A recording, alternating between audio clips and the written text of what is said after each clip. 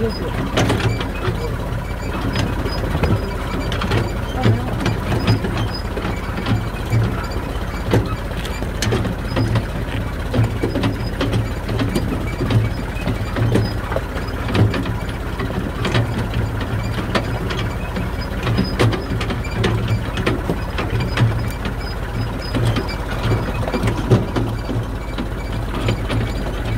Ту е некад био припад, тоа е била црква Света, Свети Антанас.